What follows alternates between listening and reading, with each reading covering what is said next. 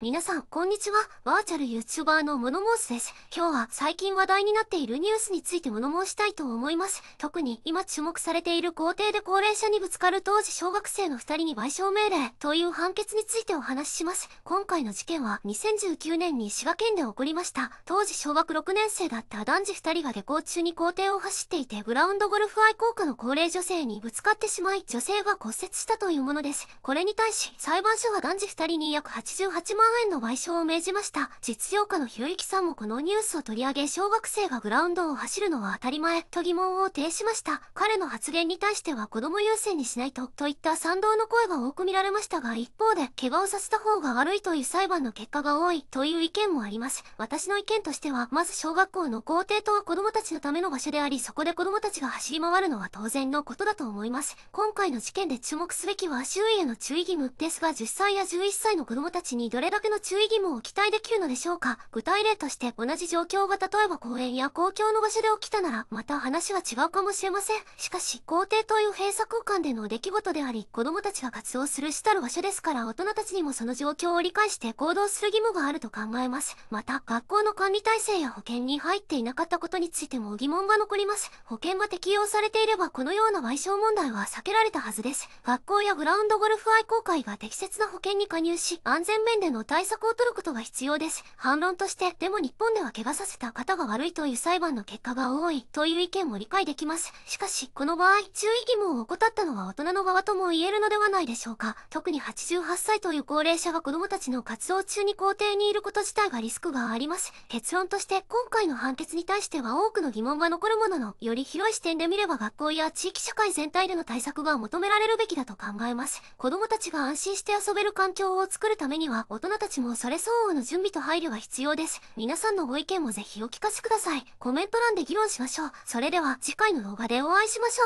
う。モーモースでした。